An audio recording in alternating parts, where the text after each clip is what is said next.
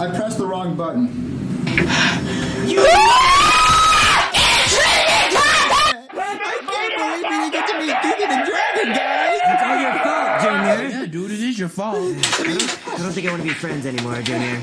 Cody, no! I mean, uh, uh do, do you, uh, do you want the last slice of pizza? I mean, yeah.